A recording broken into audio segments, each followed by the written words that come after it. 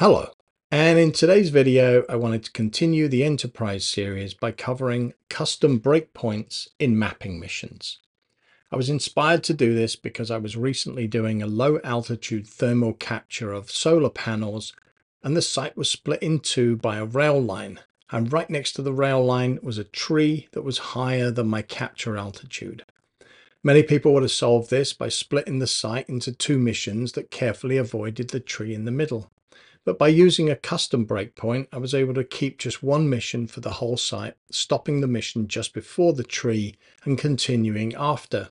It took no time at all and was much easier than carefully creating two plans. This is great for skipping around objects like trees, cranes, cell towers, etc. But it's also useful if you need to restart a mission partway through. This can happen if, for example, you had an SD card failure which actually happened to me on the solar capture day. So how do we do that? Well, here we are running a capture and I'm going to pretend that there is an obstacle at the red X. So what we're going to do is hit pause on the controller once the drone is near the object. And then we're going to say stop flight route. Now we click on custom breakpoint, fly to the other side of the object, Move the red dot with the pause icon by dragging it where we want to be with our finger, and then save the breakpoint and start the mission again.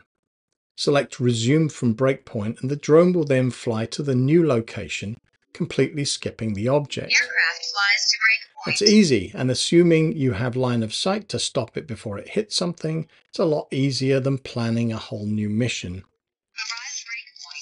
But what about the situation where you need to restart from a point? Well, in that case, do the same thing. Pause the mission, move the red dot to where you need to restart from, and then resume. It'll even remember which direction it should be flying in if you've crossed multiple lines. Aircraft flies to breakpoint. One thing I did want to point out, this is for a Mavic 3 Enterprise using Pilot 2. If you're using an M300, then Pilot 2 lets you define geo zones that the drone will stay out of. I don't have an M300, so I've not been able to test that. Also, if you're using DroneLink instead of Pilot 2, that lets you create exclusion zones, and that can be used with a wide variety of drones, including the M3E. I covered that in a previous video, which I will link to at the top.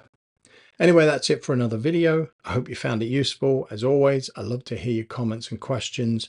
Don't forget to like and subscribe, and I will see you in the next video.